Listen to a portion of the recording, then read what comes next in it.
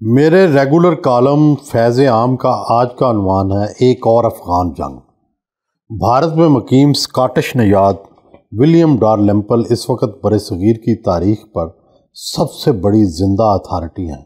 उनकी किताब आखिरी मुग़ल, दी लास्ट मुग़ल ने मुग़ल बादशाह बहादुर शाह जफ़र की ज़िंदगी, उनके ख़िलाफ़ मुकदमा, जंग आज़ादी और उनकी असीरी के सौ साल खुफिया राज खोल दिए। उनके बाद में शाया होने वाली किताब बरतानिया की पहली अफगान जंग के हवाले से है। रिटर्न ऑफ़ ए किंग के नाम से लिखी गई ये किताब, इस किताब में अमेरिका, रूस, यूरोप और दुनिया भर के हर उस मुल्क को मुतनबे किया गया है कि अफ़गानिस्तान पर जो कोई भी हमलावर होता है, वो फंस जाता है। क्योंकि अफ़गानिस्तान में लश्कर का लश्कर से सामना कम होता है, ज़्यादा लड़ाई छापा मार होती है, जिसमें लश्कर का नुकसान ज़्यादा होता है और छापा मारों का कम। ये किताब इसलिए याद आई कि आजकल पाक अफ़गान कशीदगी ज़ोरों पर है और ऐसा लग रहा है कि हम ना चाहते हुए भी इस मजबूरी की जंग की तरफ़ बढ़ रहे हैं। दुनिया की हर जंग की मादी, मुआशी और नफसियाती वजूहत भी होती हैं। कौमों और मुल्कों के दरमियान नफ़रत बुगज़ और हसद जंग की नफसियाती वजह बनता है। अफ़गान खिलाड़ियों का पाकिस्तानी क्रिकेट टीम से नफ़रत का रवैया और अफ़गान शायकीन का पाकिस्तानियों से झगड़ा इन तजादात का मज़र था। अभी चंद रोज़ पहले पाकिस्तान के संजीदा शहरीों से की मैक्सवेल की तरफ़ से अफ़गान क्रिकेट टीम की पिटाई पर पजीराई इस बात का सबूत है कि हमारे मुल्क की अक्सरियत अफ़गान हुकूमत और उसके शहरीों के रवैये से तंग होकर उनके ख़िलाफ़ हो चुकी है। इसलिए नफसियाती तौर पर मैक्सवेल पाकिस्तानियों का हीरो ठहरा।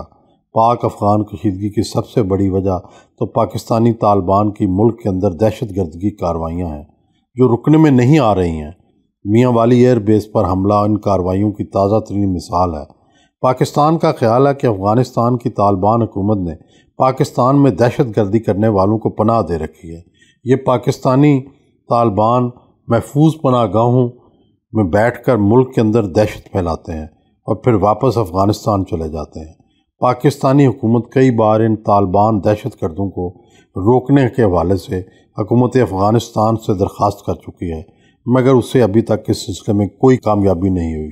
कई हलकों की तरफ़ से ये तजवीज़ जेर गर्दश है कि पाकिस्तान को अफ़गानिस्तान के अंदर घुस कर दहशत गर्दी के इन ठिकानों को तबाह कर देना चाहिए।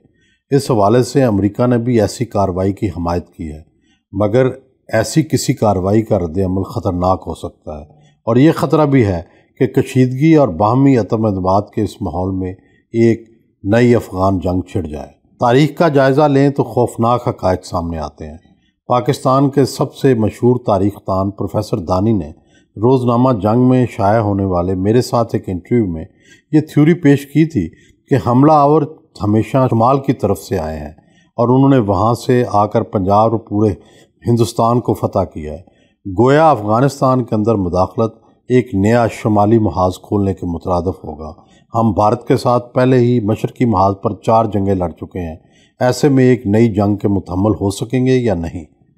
साथ ही साथ एक बिल्कुल मुतजाद थ्योरी भी गर्दश में है, और वो कुछ यूँ कि महाराजा रंजीत सिंह के ज़माने में उसके जर्नैल हरी सिंह नलवा ने काबल तक को ताराज कर दिया था। इसलिए अगर दहशत गर्दी ना रुकी तो मजबूरन पाकिस्तान को दहशत गर्दों के अफ़गानिस्तान के अंदर ठिकानों पर हमला करना होगा। बाद में चाहे इसकी जो भी कीमत अदा करनी पड़े। पाकिस्तान और अफ़गानिस्तान के बामी तल्लक की पचहत्तर साल तारीख में रोशन बाब कम और तख्त पहलू ज़्यादा रहे। क्याम पाकिस्तान के फ़ौर बाद से ही अफ़गानिस्तान ने न सिर्फ़ अकवा मुतहदा में पाकिस्तान की नुमाइंदगी की मुखालफत की, बल्कि आगाज़ में ही ड्यूरन लाइन के मसले पर पाकिस्तान से तलखियों का आगाज़ कर दिया। बाद देर तक मसला पख्तूनस्तान के नाम पर भी पाक अफ़गान कशीदगी रही। रूस की मदद से अफ़गानिस्तान में ज़ाहिर शाह और बाद में सदर दाऊद का तख्ता उठने के बाद जो कम्युनिस्ट हुकूमतें आईं, वो पाकिस्तान में बाकायदा तकरीब कारी करवाती रहीं। दूसरी तरफ़ रियासत पाकिस्तान भी खुलेआम अमरीका के साथ मिलकर अफ़गान मुजाहिदीन की मदद करती रही और यूँ वहाँ की अफ़गान हुकूमतों का पाकिस्तान से खुली दुश्मनी वाला तल्लक उसवार हो गया। तो तो ये थी कि कम्युनिस्ट दौर ने या हामद करजई और अशरफ गनी जैसे भारत नवाज़ों के बाद तालिबान पाकिस्तान के हामी बनेंगे।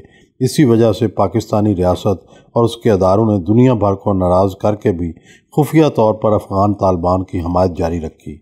दोहा मज़ाक में भी इस बात को यकीनी बनाया कि अशरफ गनी के जाने के बाद तालिबान को ही अनान इकतदार मिले। अमरीकी दस्तों की वापसी के बाद तालिबान की हुकूमत बनाने में भी पाकिस्तान ने मदद की। मगर हालात की सतम ज़रीफ़ी ये है कि वही तालिबान जिनके लिए पाकिस्तान दुनिया भर में बदनाम हुआ, वो अपने हम मुसलक पाकिस्तानी तालिबान की दहशत गर्दाना कार्रवाइयों को रोकने में पाकिस्तान की मदद करने को तैयार नहीं। बल्कि उन्होंने तो सरकारी तौर पर यह मौक़ इख्तियार किया है कि पाकिस्तान में दहशत गर्दी को रोकना उनकी ज़िम्मेदारी ही नहीं है। हालाँकि हुकूमत पाकिस्तान के पास इस बात के वाज सबूत हैं कि पाकिस्तानी तालिबान को अफ़गान तालिबान और उनकी हुकूमत की मुकम्मल सरपरस्ती हासिल है। आइए आखिर में जायज़ा लें कि अगर हम मजबूरन जंग या अफ़गानिस्तान के अंदर ऑपरेशन की तरफ़ धकेले गए तो इसका नतीजा क्या होगा? पहली बात तो यह है कि आज के दौर में जंगें और मीशत बाहमी मतजाद हैं। जंग हमेशा मीशत को ले बैठती है। पाकिस्तान के रूजा जवाल पर नज़र रखने वाले अक्सर मीशतदान मुतफिक हैं। कि पाकिस्तान का मुआशी जवाल उन्नीस सौ पैंसठ की जंग के बाद से शुरू हुआ। इस बात के मद्देनज़र ज़रूरी है कि खुली जंग से बहर सूरत बजा जाए। सफारती, मुआशी और दूसरे ज़राए से तालिबान को मजबूर किया जाए कि वह पाकिस्तानी तालिबान की हमायत छोड़ दे। अगर ये मुमकिन ना हो तो फिर इन तालिबान के अंदर ही पाकिस्तान का हामी ग्रुप ढूंढा जाए और उसकी मदद की जाए। एक और अफगान जंग मुल्क के लिए तबाहकुन होगी।